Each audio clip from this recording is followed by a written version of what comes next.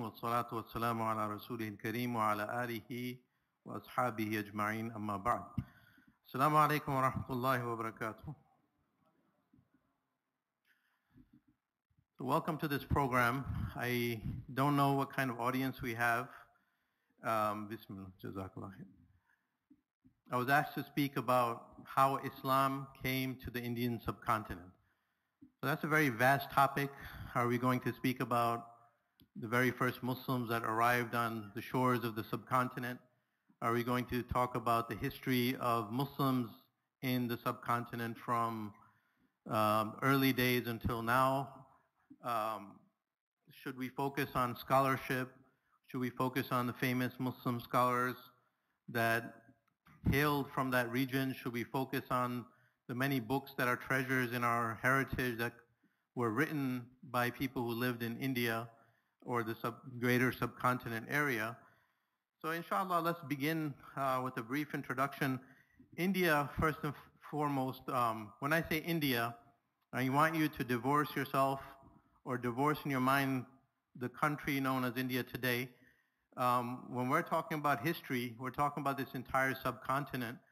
So when we when I say India, uh, don't necessarily mean modern India. I mean that entire region, which today would be Afghanistan, it would be Pakistan, it would be parts of Iran, it would be India, it would be Sri Lanka, it would encompass Bangladesh, it would encompass so many other countries.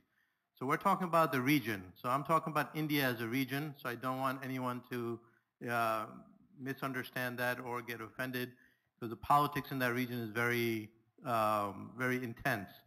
Um, so the Indian subcontinent is a strange and exotic place. It's a place that kind of is attached to the world and separate from the world at the same time.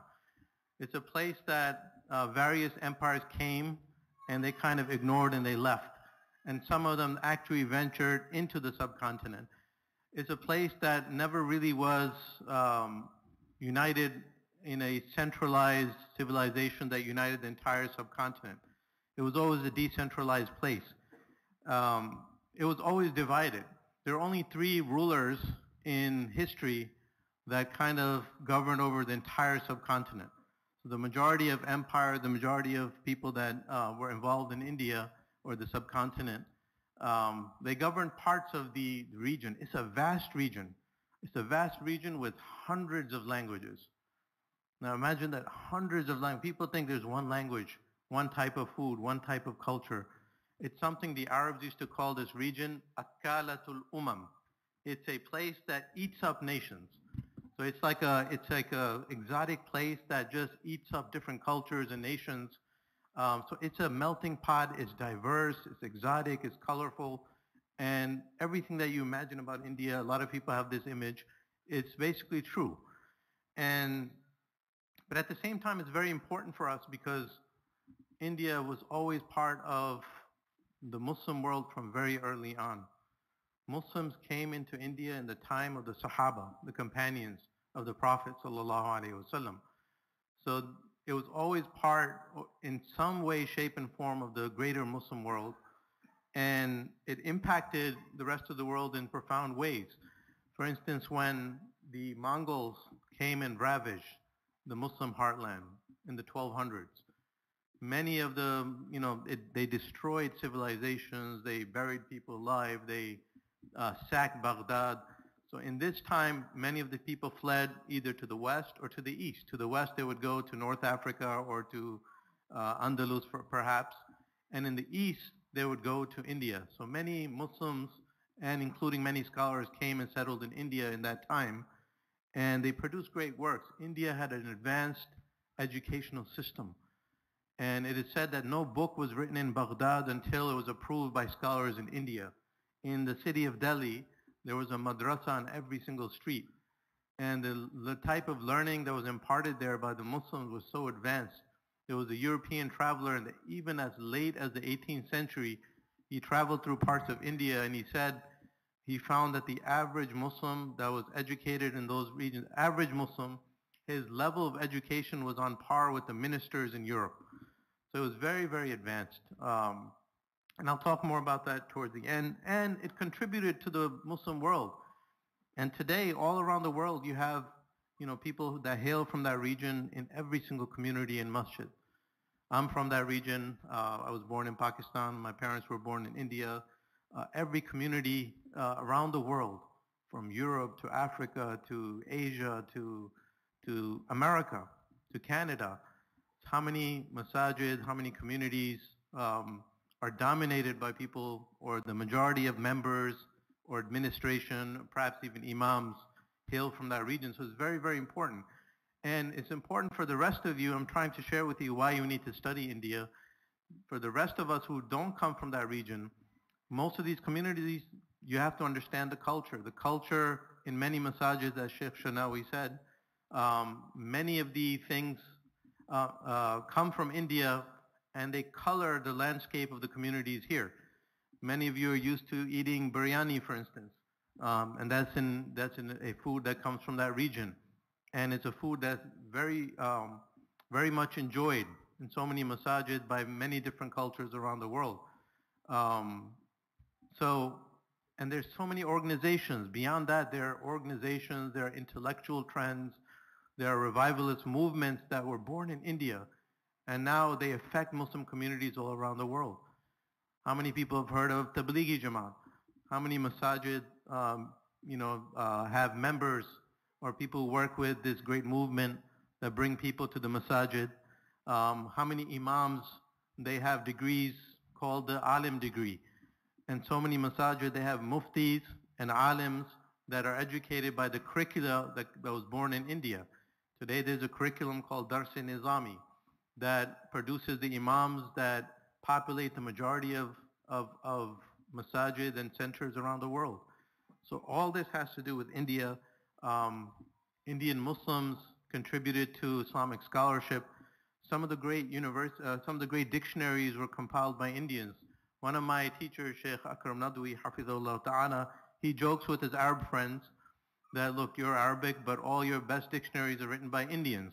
One of the first to write an Arabic dictionary was Allama Saghani, and he was someone who settled in, in, in, in India so he wrote one of the first dictionaries, and after him, Fairuz Abadi, who was the most famous uh, person to write a dictionary, he took basically his, his dictionary as a template, and he produced his own. So it was started with an Indian, and then it was a Persian that kind of perfected it, and that's the most famous dictionary. And after that, there was a commentary written by Murtada al-Zabidi, who also was from India. So there's so many great uh, contributions to Islamic scholarship by Indian Muslims. There was a great muhaddith of the past century, Abdul Hayy al-Kattani, rahimahullah ta'ala. He used to, he was a great muhaddith. He wrote so many books. And his children and his family members today are great hadith scholars. So he used to say that for him to narrate hadith through the scholars of India, going back to a great scholar named Shah Waliullah, for him it was equivalent to Imam Nafi' from Ibn Umar from the Prophet ﷺ. This hadith, isnad from Imam Malik of Medina, from Nafi' from Ibn Umar. This isnad was called the golden chain. So Abdul Hayy, he used to say, he lived about 100 years ago. He used to say, for me to um, link myself with the scholarship of India in terms of hadith is more beloved to me. It's almost like Imam Malik in his time linking himself to these great chains. So this is a great uh, honor many of the great books. The best book, one of the best books, or one of the most widely read books on Sira is what? Al-Rahiq al-Makhtum. And who was it written by? Sheikh Safiur Rahman Mubarak Puri from India, who passed away recently. So, and some of the best commentaries on hadith, like in, in Tirmidhi, the best commentary on hadith, written by an Indian scholar, and so on and so forth. So you cannot afford to ignore um, the history of these various regions we have to learn from each other. And learning from, of different cultures enhances our own learning, enhances our own perspective. So we're going to look at uh, a brief history of, of India. Now this is a map of India. You can see how it's a massive place. It's a place that's kind of, if you look at it from this perspective, it's kind of in the center between China and the Middle East and Africa. So it's kind of like a crossroads. Um, and therefore it was a very important stopping point for various civilizations. This is an overview of the history of India. I don't want to give you a history lesson. History is, can be very technical and boring. Um, but just to give you a brief uh, summary and an overview is very, very important. Um, I like to begin with uh, begin the history of the subcontinent um, with various perspectives. So I want to begin with this particular phase called um, Yom Aqaba. So how many people heard of this? Anyone know what I what this means? What's Yom Aqaba? It's a special day. Okay. Um, so don't worry about the slides. The slides were not important. They don't have a lot of information, just the name. So just listen to me for. Uh, so Yom Aqaba. Anyone know what that is? It's a it's a day. What kind of day or what particular day? Um, it's something you should all know. Do you know? Yes? No. Okay. Any of the adults know Yom Aqaba? Okay, so what was the day? So tell me the. So it's, it's coming from the Prophet in that time. So what what particular day was that?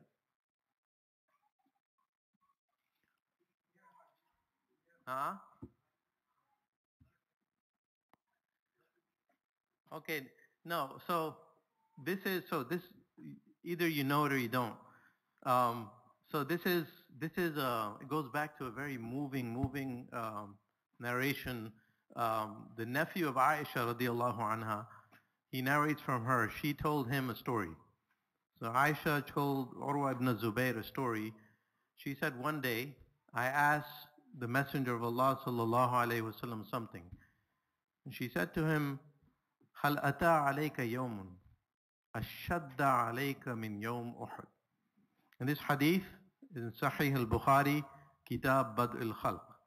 Hadith from Sahih al-Bukhari. Aisha, she asked the Prophet wasallam, have you ever experienced a day more difficult than the day of Uhud? Any day upon you more difficult than the day of Uhud? Uhud was a difficult time. That's where the Prophet was wounded. People thought he died. He lost his uncle. He lost so many of the companions, 70 of the best companions. So this is probably the biggest defeat of the Muslims in the Prophet's lifetime. So it was a devastating day. So she asked him, هل أتى عليك يوم أشد عليك من يوم أحد? So the Prophet sallallahu alaihi wasallam he answered. He said, Ya Aisha, لقد لقيت من من من قومك ما لقيت وأشد ما لقيت منهم يوم عقبة.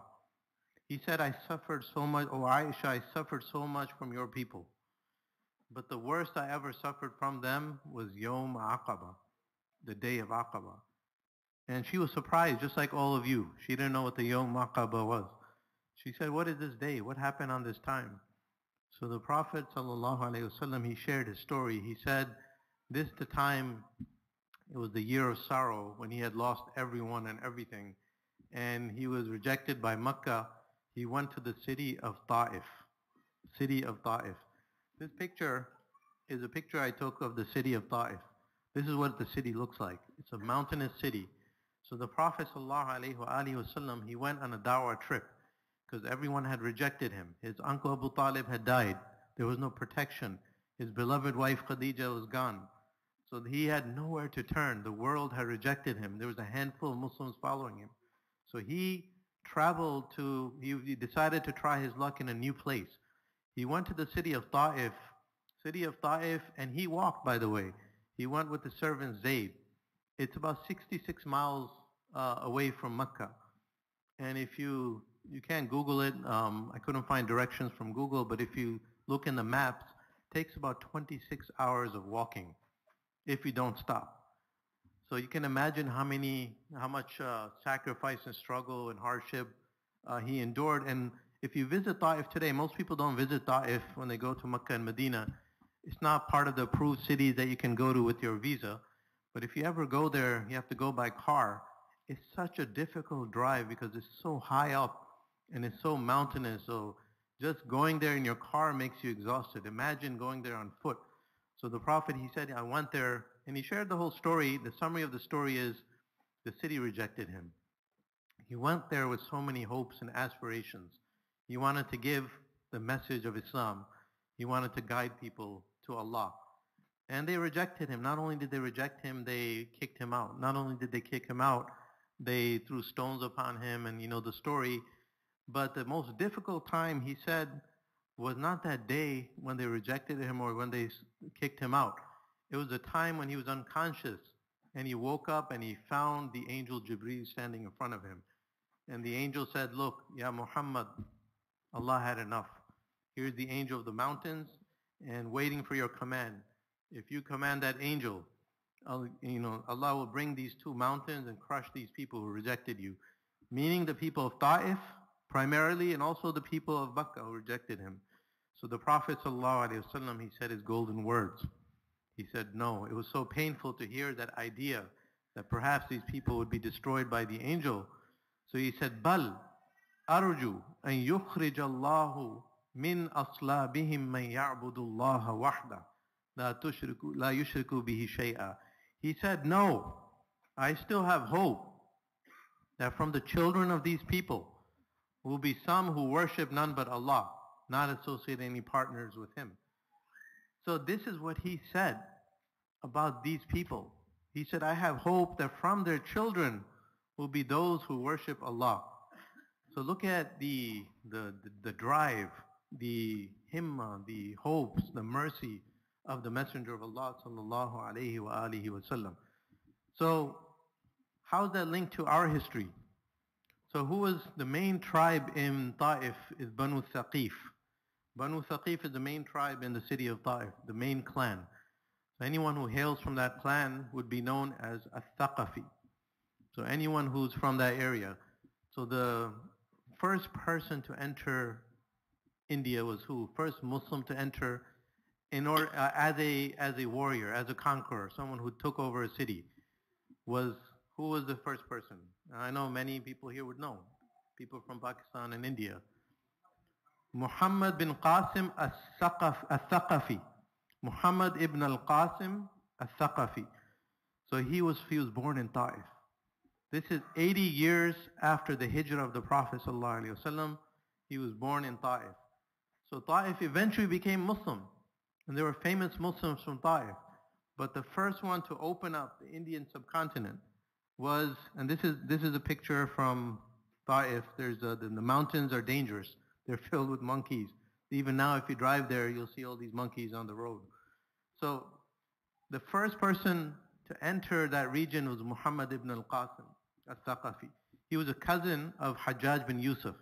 And this is during the era of um, Al-Walid ibn Abdul Malik, the Umayyad Khalifa. So Muslims entered that region. This is the first time they actually put a stronghold there. But the fact is Muslims went there before that. Because what was the situation if you know the story? What happened was there was a Hindu ruler in that region, in this red region that you can see. So what happened is this is a region that's a coastal region.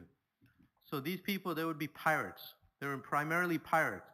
So trade and business was very, very important for thousands of years. So people from Africa and people from Arabia would go by sea to India to trade, and from there they would go to China. So this was, this was an important trade route. So the people, there are certain uh, tribes in this region that became known for piracy.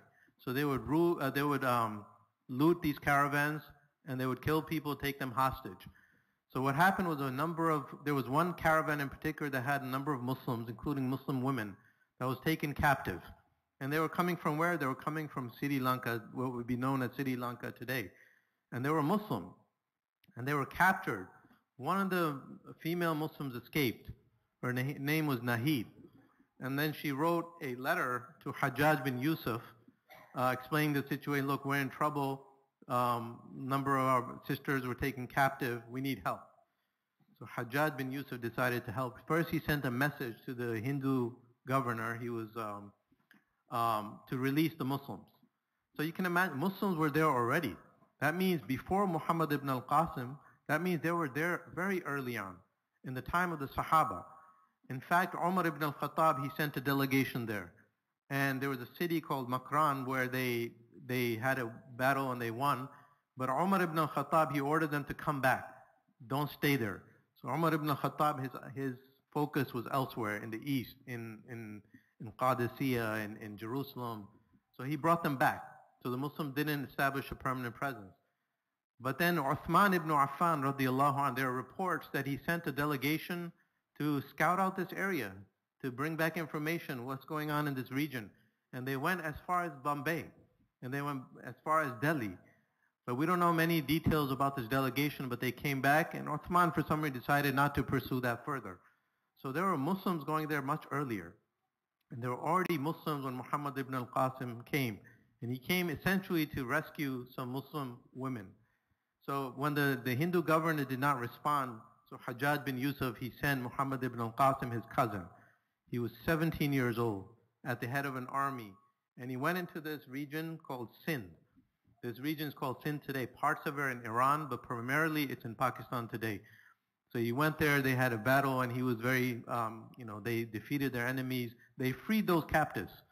And then they established themselves. They, um, they opened the city of Multan, and they went as far north as in, in, in mid-Pakistan today. And from that time, this is the year 92 of the Hijri calendar. So this is, you can see India and the rest of the, this is prior to Islam, this is what the world looked like. So 92 of the Muslim calendar, 711 Hijri, was when the Muslims established themselves in the city of Multan in the province of Sindh. So this is, this is a time when there are companions still alive in the world. And by the way, this is the same year that Tariq bin Ziyad entered Gibraltar and entered into Andalus. So the same time Muslims were establishing presence in that region. So this is the earliest presence of Muslims. Um, Muhammad ibn al-Qasim al-Thaqafi, rahimahullah ta'ala. After him, the Muslims stayed in those regions, but they didn't go further uh, north or further east uh, until the time of, and I'm skipping over vast portions of history, I'm just giving you the basics of some of the important figures. There was a great uh, ruler by the name of Mahmud from Ghazna, Mahmud al-Ghaznawi. So he was born in 361 Hijri or 971, and he was born in Afghanistan. And by this time in the north, north of India, the regions of Central Asia were predominantly Muslim. Either they were Persian or Turkish. So he was born um, to a, his father's name was Sabuk Tikin. He was a Turkish general in the army of the Samanid dynasty, which were Persians. So eventually his father, the Persians became very weak at that time, the Samanids. And then his father, he established himself. And then his son took over his father's reign and he established himself as an independent commander. So he break, broke away from the Samanid. And so his, his, his, his father was Turkish, his mother was Persian. So he basically allied himself with the Abbasids. They were the Khalifas at that time. So what he did was then he started looking towards the east and towards the south. So he started traveling into India. He made a number of raids into India. He went 17 times into the heart of India. And he raided India. He established uh, presence in different cities and he conquered different cities. And he was someone who was very close to the scholars. Mahmud Ghaznawi, one scholar, so the Samanids had a number of scholars, so one of them became a prisoner when they were conquered. His name was Al-Bayruni. He was a very, very famous scientist and scholar. So when Mahmud al-Ghaznawi found out he's in prison, he said he found out what his, his scholarship was. He freed him and he employed him. And he began to travel with Mahmud. In one of these journeys, al-Bayruni traveled to India with Mahmud and he liked the region. He settled there and he stayed in India. So he was a Persian scholar. He was wrote so much in various fields. And he was a brilliant scholar who knew six languages when he arrived in India, he learned Sanskrit and he became fluent in it. He translated some Sanskrit works. He translated some Greek works into Arabic and also in that language. And he wrote a book, Kitab al-Hind, which is one of the best books on the history of India written by a non-Indian. And it was translated into multiple languages. Still, people read it uh, today. Al-Bayruni was known as the father of anthropology, brilliant scholar who basically settled uh, in that region. Um, he made so many advanced, uh, you know, he, in his writings you find so many advanced things. In his writings you find that he's in the, in parts of India he found uh, fossils of marine life. And he concluded there must have been a river basin here. Must have been a big sea here. In his book on astronomy, which he wrote for the son of Mahmud, uh, called Kitab al-Mas'udi, he shares the locations of 1,000 stars, and they're so accurate even today if you look at their longitude and lat- latitude. He's the one who calculated the circumference of the Earth, the radius of the Earth, and it's accurate to within 15 kilometers of, of what it is today, known today. So this is, you know, scholars they traveled with with these great uh, Muslim uh, leaders. So Mahmud al-Ghaznawi went deep into India. Uh, the poet Firdausi was the one who wrote so many poems. There's a famous poem of 60,000 lines. The, it's called the, it's the Shahnamat of, uh, of Firdausi. It was written for Mahmud. So Mahmud was, had so many scholars in his court. There's so many things we can say about him. But he's the first one who kind of went into India to the heartland. Not on the outskirts, but also deep into the heartland. After him, basically, the Ghaznavids um, ruled over India. This is, the red is their um, domain. So the, the, the yellow is the other parts of the Muslim world. So he kind of established himself, and after him, as always is the case, you have one generation that's very strong, then the second generation becomes lazy. And it's the same history everywhere. Ibn Khaldun talked about that. First generation, they have to struggle, they have to survive, they establish themselves, they do great things. And then the second or third generation, they lose those great things because now they become privileged and entitled. And so Mahmud, after he was gone, uh, his empire kind of collapsed. It just lasted a couple of years. And then after him, the next great phase in Indian history is the Delhi Sultanate. And so this was started by Qutb Aybak. So he was another Turkish general. So he was basically one of the slaves of, you know, of the previous dynasty. He became independent and he established himself. He established for the first time an independent government in the heartland, so in the, in the region of Delhi. And this became known as the Delhi Sultanate and it lasted for hundreds of years. There was a series of dynasties that were part of that. So Qutbuddin Aybak, his contribution is he's the first one to build all the monuments, the Islamic monuments in India. Up until that time, there weren't any great masajid or monuments built there. He's the one who built, uh, this is called the uh, Qutub Minar. It's a great, um, it was probably the tallest building in the world at that time. Even today, it's one of the tallest brick structures in the world. It was an important um, milestone on the Silk Road. People would pass through the Silk Road and they would look for this monument. So um, Qutbuddin Aybak, he was someone who built many, many great uh, Islamic uh, structures and masajid throughout India. And after him, a number of dynasties took over. There was the Khalji dynasty uh, by Alauddin Khalji, who was the first one. So I mentioned in the beginning, India was always pockets and decentralized. There were only three rulers in our history that united the entire or ruled over the entire subcontinent. And one of them was Alauddin Khalji. And then after him, Muhammad ibn Tughluq. And after him, um, India, uh, Timur Lung was like a Turkish Mongol invader who came in and destroyed and ended the Delhi Sultanate. So there was always politics going on. There were empires rising, empires falling. So without going into details, this is not a history lesson, but just to give you an idea what was happening in India. So the Delhi Sultanate was probably the first time you had like an, uh, an administration and government in India that lasted into modern times.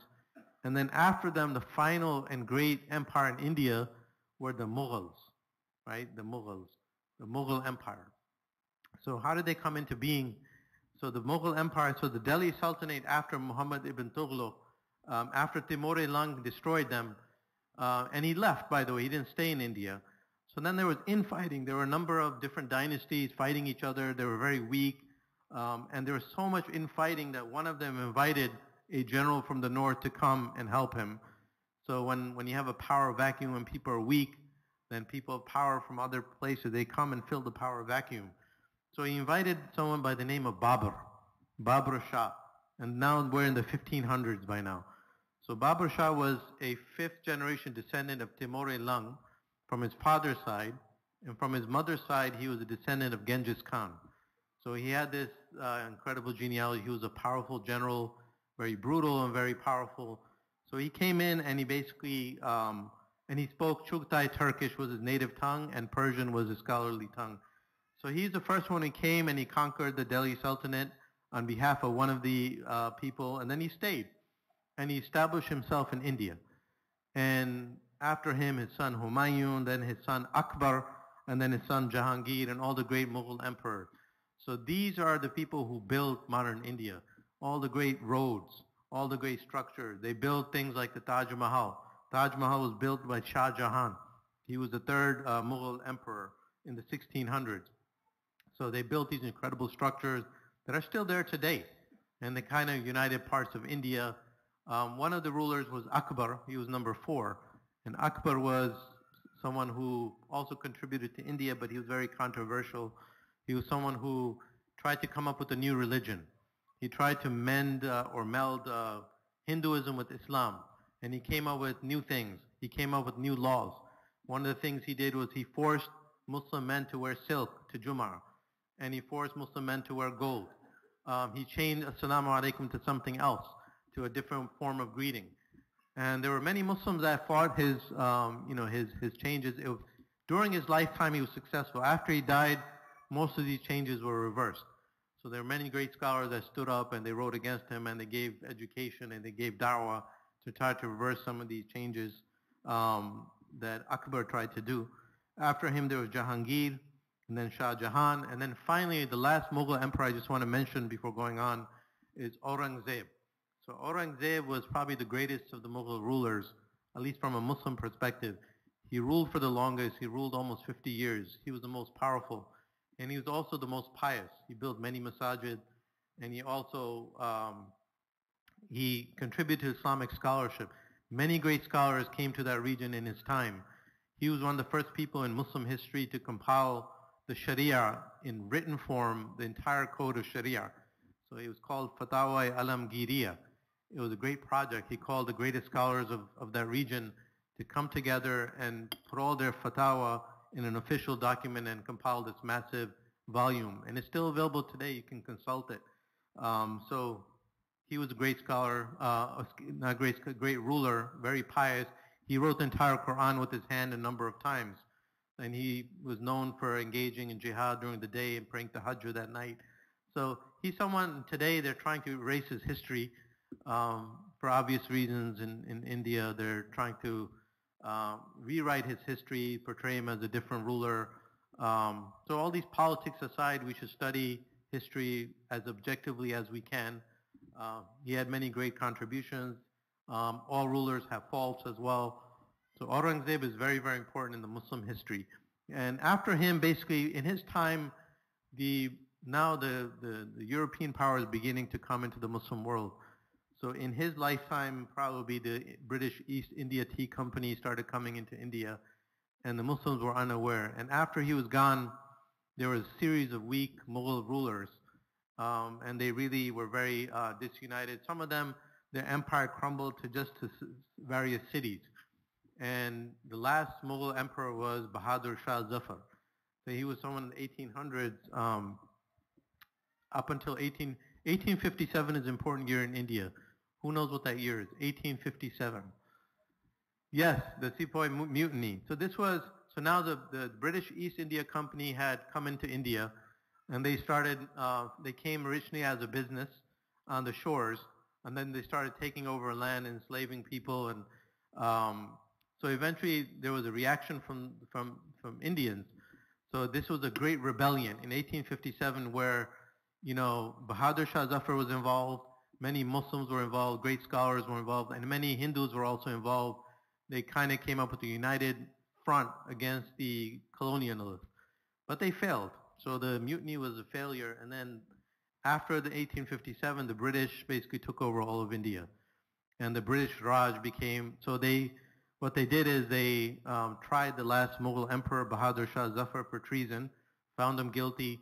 They exiled him to Burma, where he died and they killed many of his family members and um, and basically the Mughal Empire ended that year, 1857. So this was the year Muslim rule of almost 1,000 years ended in India. And the British took over for a number of years until modern times, 1947, and so on and so forth. So this is a brief history of, of, of the Muslim presence in India. It's very complicated. Uh, there's ups and downs, but it's just something to be aware of because many of these things that happen, many of the developments, many of the changes, many of the books that were written still impact us today. So that's why understanding history is very, very important to give an understanding of what's going on today and understanding works today. Um, I'll end by talking a little bit about making it more relevant to the Muslim community. Um, there's a lot of talk about Islamic scholarship in India. So, you know, what was Islamic scholarship like and these seminaries that we have, the alim courses around the world, where do they come from?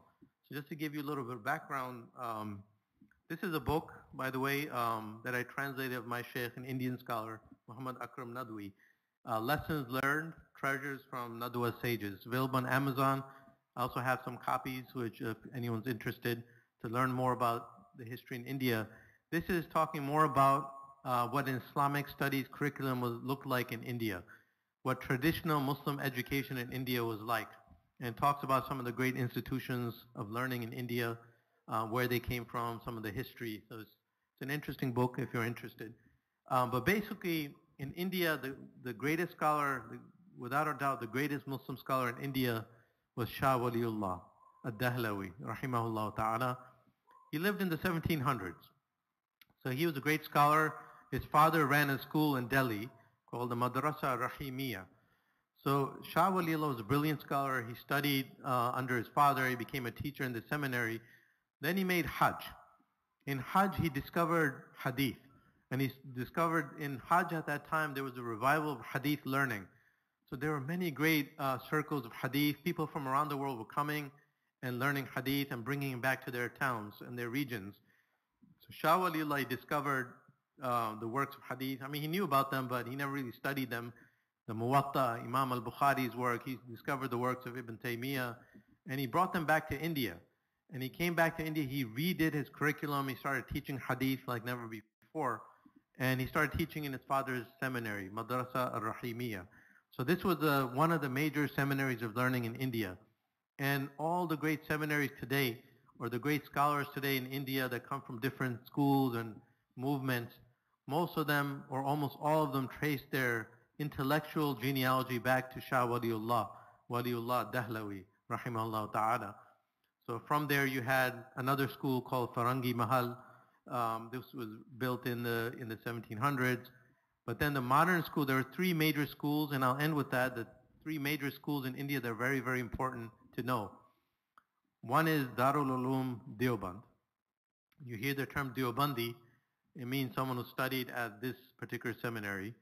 So this was established um, after the British uh, or the, the 1857 mutiny, the Indian Rebellion. So just a couple of years later, 1866, this seminary was established. So basically it was established with a vision in mind so there were a number of scholars, they felt they had to preserve the Muslim heritage um, because now the British had fully taken over. They were dismantling Muslim educational institutions.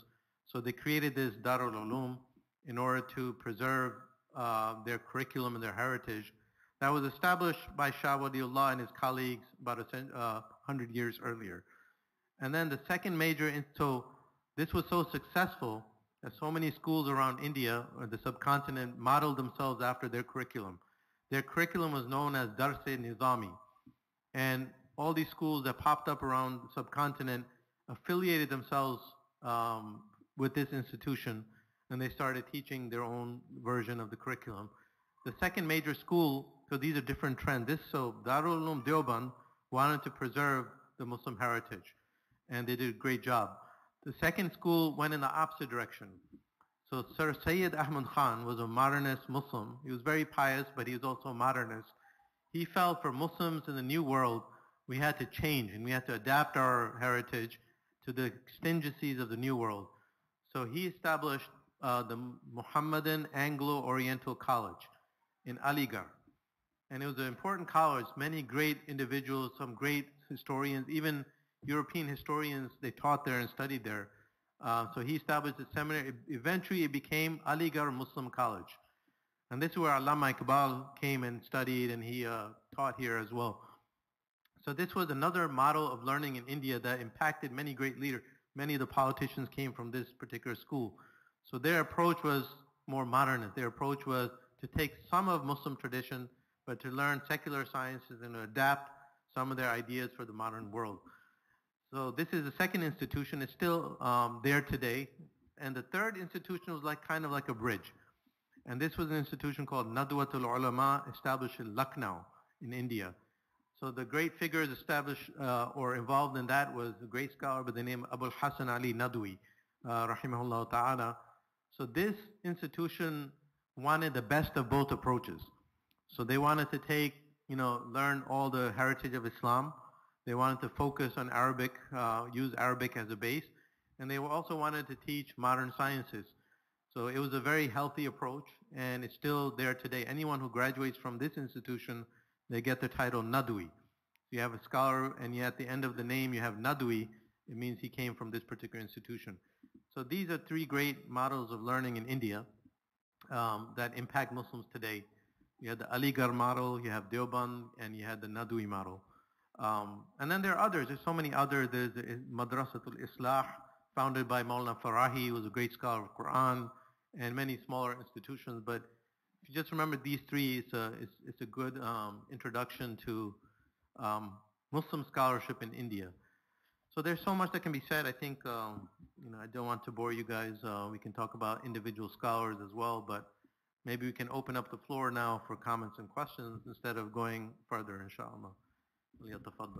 So if, I, I don't know what your normal approach here today, but I don't mind asking questions openly raise your hand and I'll call upon you so we can make this organized. Any of the sisters have questions also, you can come to the side here. There's a portion that doesn't have the barriers. You can ask. Um, brother in the back. Uh, yeah, yeah. Yes, you're still. Yes.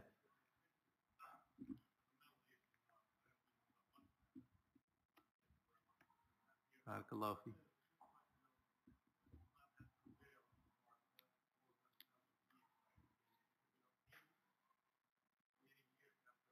Yeah, do you? Yeah. Well, after that.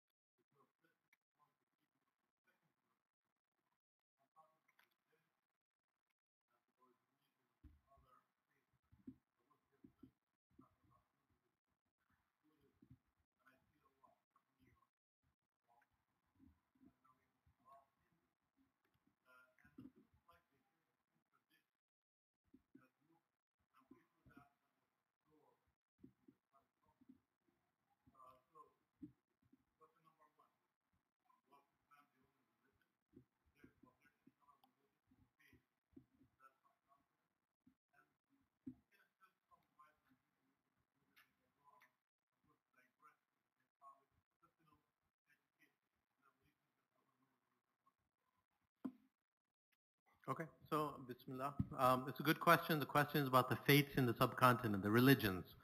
So what were the other religions and um, when Muslims came, were they eclipsed?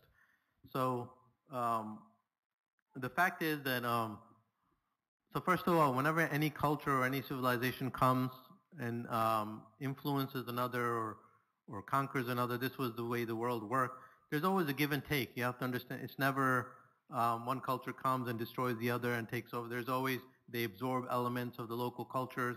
And that's why you see Muslims all around the world with different colors. Um, the way Muslim women dress, the way they wear their hijab in Arabia is different from Africa, from India, from Turkey, from different regions. So um, first of all, it's a very natural process. You have to realize that everywhere uh, people go, not just Muslims, any people go anywhere, you, you pick up some things and you give some things. There's always a give and take. Regarding the religions of India, so it, this is kind of interesting. Well, the Muslims have been in India for a thousand years, um, but they were always a minority. So that means they never really uh, they never really gave da'wah. Number one, from our perspective, they didn't, uh, there wasn't a large-scale effort to convert people through education or through force.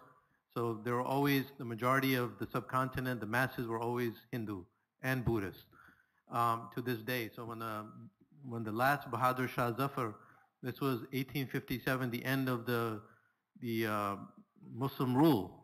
So the Muslims were the first ones to unite the subcontinent and rule over it politically, but they always remained a minority. Not a small minority, there, there are parts that were predominantly Muslim, parts that were If you want to understand the numbers, just look at what happened when the British took over India. So the, in, the Hindus were dominant, they were majority, and then there were a big section of Muslims in different parts, and there were Buddhists. So, so that's one thing to know that Muslims, wherever they went, it was just, uh, it wasn't really, um, they didn't destroy the local culture, they didn't get rid of everyone, and, the, and you know, it's, it's as clear as the light of day. That's why India today is majority Hindu, because we ruled for a thousand years and we didn't force everyone to convert. So that's something important to know. A lot of people did convert. There were periods of time where some Muslim rulers, all the Muslim rulers don't do things in the name of Islam. That's one thing to know. This is history. So don't look at history as, you know, everyone's perfect and everyone's doing what they're supposed to do. Many rulers were evil. Many rulers had dark moments and they had good things. Just like today. Which politician in the world you can say is perfect or purely evil or purely good? Anyway, uh, so Muslims kind of everywhere they went around the world, um, there generally weren't mass conversions. They didn't force people to convert, and there's a narrative out there that Muslims went with the sword and they converted everyone, and it's silly when it comes to India, because Hindus were always there and they remained there. Their uh, temples of worship were always there. There are temples of worship uh, in India that have cert- certificates from Aurangzeb. Aurangzeb is the emperor that is known as uh, was the, the most pious Muslim because he was overtly Muslim he's a target of this changed narrative. People hate him. So they're changing all the roads that have the name Aurangzeb now in India to something else. So he's being painted as a Muslim fanatic who forced everyone to convert, which is not the case. There's a great book, if you want to know, um, oh, I have it here, is a, a recent book written on Aurangzeb by Audrey Truschke. She's a professor in Rutgers University. She's not Muslim. She wrote a fascinating history of Aurangzeb looking at the narrative that people place as a Muslim fanatical warrior. who came and converted everyone. Um, so it's uh, important to note these things. Regarding Hinduism and Buddhism, it's very difficult, and I mean this with all uh, all, all respect. Um, if you want to understand Hinduism, it's very very difficult. Um, I've tried uh, most of my life. Um, just give you an interesting. Um, when I was in medical school, um, there was a Hindu club in in the college, and they organized a dinner. And you know, when you're in college, you don't have money and stuff, so you go to these places to eat. Um, and you have friends also, so we went there. Um, so they had a, invited a guest um, to give a lecture on Hinduism. We all wanted to know, and a lot of my Muslim friends, we went there. So the the this is New York. It was in Brooklyn. So because of traffic, the the the, the guest never came. So, you know, people are getting anxious, so the, the different members of the Hindu club came and they started talking. So each person came and gave his perspective on what his religion is. And every single person said very different things than the previous one. One of the people, the first person who came, he said, basically, Hinduism, we believe in one God, one major God, and then there's sub-gods and things like that. And then another person came and he said something very different. Um, then that professor came, and finally when he came, um, I don't remember a lot of what he was talking about. I do remember he said in the same lecture, he said there's no God. He said there's a million gods. He said there are many gods, there's one God. So um, I think to look at it as monolithic faith is very, very difficult. So I think some religions in the world, like we have Islam is, we have a set of beliefs.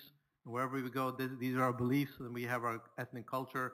But other religions don't have that perspective of religion. Their, their cultures, their ways of looking at the world. There might be ethnic groups like the Jewish faith.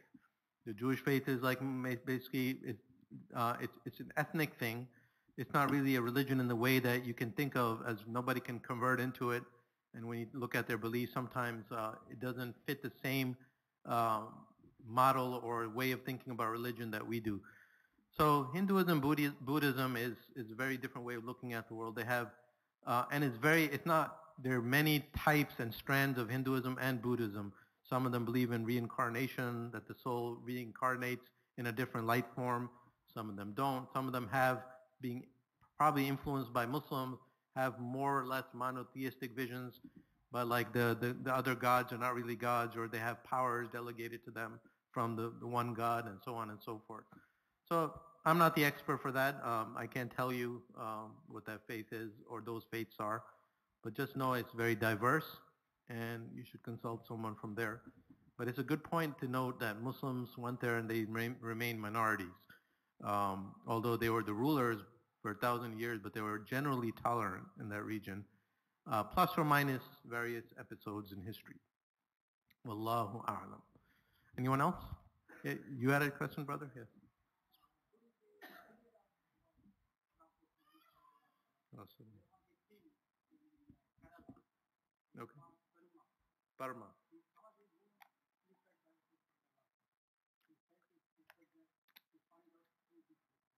Mhm.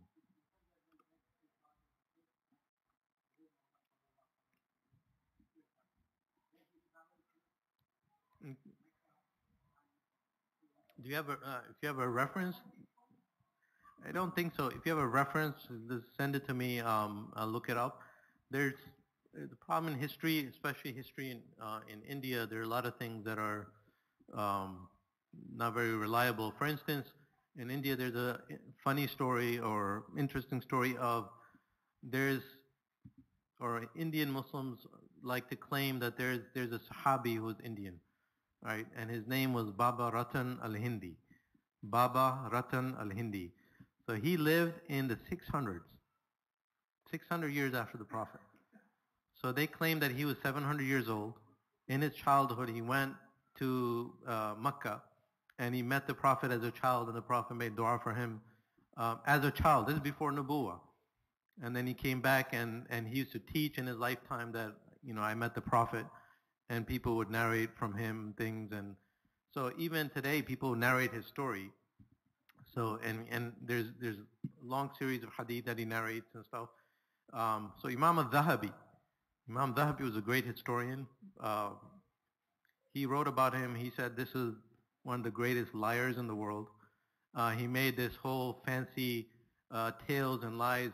And he said, Imam Zahabi said in his Siyar, he said, anyone who believes these things, then we have no medicine for such a person. That person himself needs help. So things like that. There's so many stories that this person being 700 years old, this person like he made a hole through the mountain, and or this person met the Prophet. So Allahu alam. We need to verify sources, look at history books, and see what's uh, verifiable. As far as we know, during the Prophet's time, there's no interaction between anyone from that region, but it could be. There's a possibility, but what's documented, I, I would have to say Allahu alam. If you have, if you find a reference, if you can forward to me, we can look it up, inshallah. Yes, brother. Mm-hmm.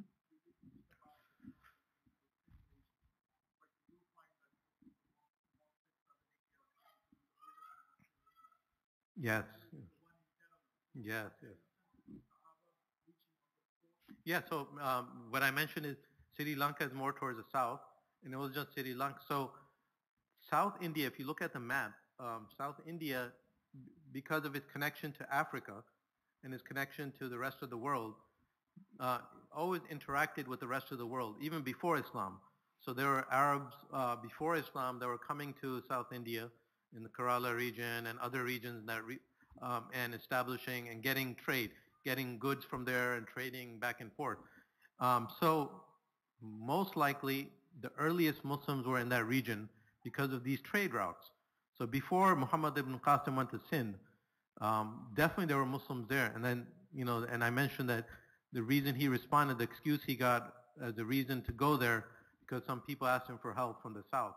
So probably there's, this is a, it's a fascinating research topic. I don't think we, we don't have good historians that study this region. I'm sure if you travel in that region and you look at archaeological remains, look at the masajid, research history, we will find instances of Muslims that interacted with maybe Sahaba, maybe early Muslims from that region much earlier, and maybe established a masjid or maybe established something here and there. So for sure, probably the earliest Muslims is a good point. Before Muhammad ibn al-Qasim was probably in the south region through the sea. In the land you have to go through cities and you have to conquer, but through the sea you can come as a trader. So uh, Muslims were coming to trade, and probably they shared their faith in peaceful ways through that. So this is this is something I really would love to study and visit that region. That region is very different from North India. North India, um, you know, it's it's uh, predominantly Hanafi. In Kerala, you find many people are Shafi'i, so Indians who are Shafi'i, or who might be other uh, schools of thought that are not Hanafi. So not everyone in India, including Muslims, fits the same profile. So Kerala, because it had an independent channel of, of communication with the rest of the world, has a slightly different history. Um, and not only Kerala, Kerala is just one example of a city, but there, it's a huge subcontinent.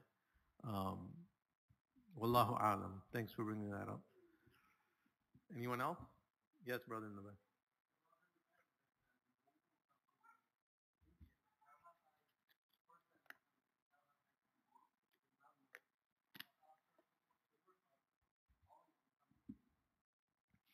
No, they came as Muslims. So uh, Babur was Muslim. He was Chagatai, but they were already Muslim when they came to India. So um, they were already Muslim. Uh, so Babur was um, was a Chagatai Turk, and at that time there were the Ottomans, and the Ottomans were very early, and then there were the Safavids. So Babur was kind of allied himself with the Safawiya empire against the Ottomans for some reason, and um, he spoke Persian, uh, and he was Muslim. So he came into India. Then his son Humayun, he, um, so the father was great uh, in terms of, uh, at least in terms of administration. That's what I'm talking about. Uh, his son kind of lost his empire, Humayun. So Humayun lost the empire and he lost everything and he was kicked out and he went back. He sought refuge with the Safavids. And the Safavids, they made him convert to Shiism in order to rescue him. So he nominally converted to Shiism. He stayed with them, and then he came back to India, and eventually he died in India in Delhi. So they were all Muslim from the from the beginning when they came to India. Prior to that, Timur Lang, that's a generation they were converting to Islam. So this was like so Genghis Khan all goes back to Genghis Khan, the Mongol herds. They were coming in the 1200s to the Muslim world, and eventually generation two and three began converting to Islam. so Berke Khan was a grandson of Genghis Khan. He was the first great Muslim, first ruler that became Muslim, and he kind of repelled the Mongols. And then Timur Ilang was Muslim later, and he was Mongolian also and Muslim. So it's kind of complicated history. Um, hope that answers some of the. Yes.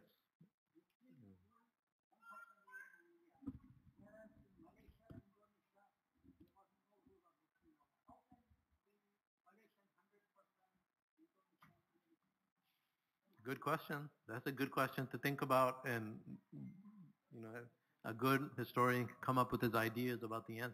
Very good insight. So Malaysia. So go further. So this is the Indian subcontinent. If you go even further east, you have Malaysia and Indonesia. They're almost 100% Muslim. Not 100%, but you almost like 90, above 95%. And there was no big war or conquest there. That was a peaceful transition. So it's interesting how that is, and perhaps uh, there's some lessons that can be drawn there. Allahu A'lam. I plan to go to Malaysia in one month for the first time. Inshallah, I'll start to research some history there. Yes, brother. No. Alaikum salam.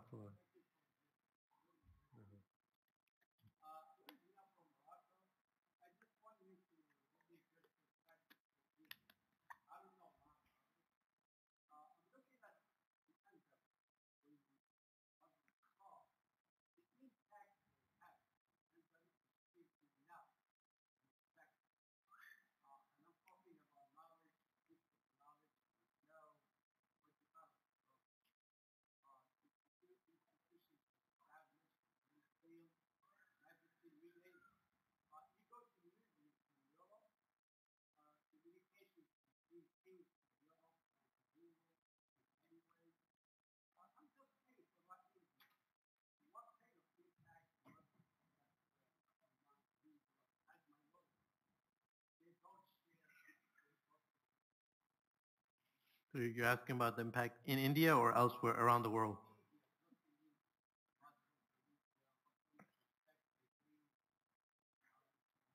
So Muslims lived in India um, when they became part of the landscape. They became Indian. So uh, maybe Babur was Chugtai Turkish, but the later Mongols, you can say they're Indian because now they're marrying uh, from local. And by generation six or seven, can you say someone still like your children here, our children are American. And we still have a little bit of our culture left, but fast forward four generations from now. Think about your your children's grandchildren. What are they going to be? Are they going to still be Egyptian and Pakistani and Moroccan? They're going to marry different people from different cultures and they all live here. So they're going to be something else. So Muslims became part of the landscape. They became indigenous. Um, so they had, um, relatively speaking, for the much of the thousand years, it was very. There was a lot of uh, tensions. Also, they were fighting in between communities, but predominantly it was peaceful. Uh, so there was there was respect. Um, it was only when the British came that's when the first time we saw massive, um, you know, rioting between faiths and religions. I mean, you can argue that that was a British policy to bring one uh, group against the other, and then they're fighting people they grew up with. They were fighting each other. People went to the same school. Sometimes even family members. Some of them are Hindu, some of them are Muslim. Now with these new tensions, uh, they're fighting each other. So, you know, for a thousand years, it's very different. And the Delhi Sultanate was different. The Mughal Empire was different. Each ruler was different.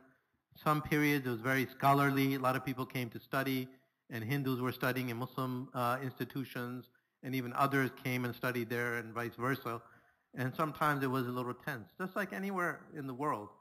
Um, but overall, I think uh, there are a lot of hard lessons we can draw from from from the Muslim presence in India, like why in Morocco and other parts of the world we have a stronger presence and our culture and in terms of the, the uh, people becoming Muslim on their, on, their, on their free choice was much greater in other parts of the world than in India. Allahu Alam, these are hard questions. It's even harder to discuss it when today there's so much tension between India, Pakistan, Bangladesh, these three countries. There's so much tense history there and um, it's hard to do anything, hard to talk to. Everyone has their own vision of things. It's like a radioactive. Even last year, I tried to go to India. It was denied because I was born in Pakistan.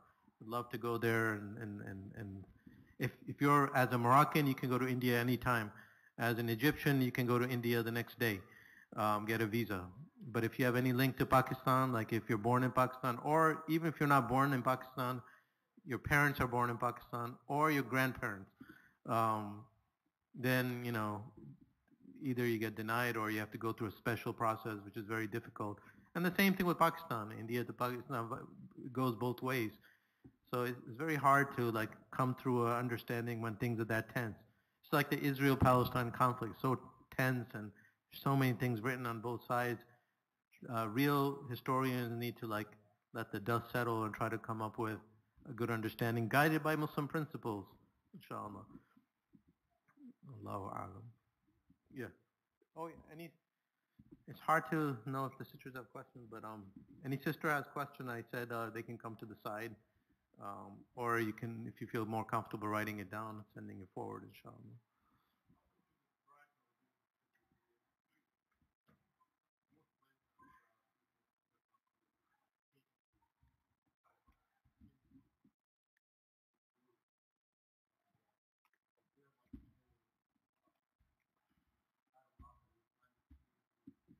Talking about today?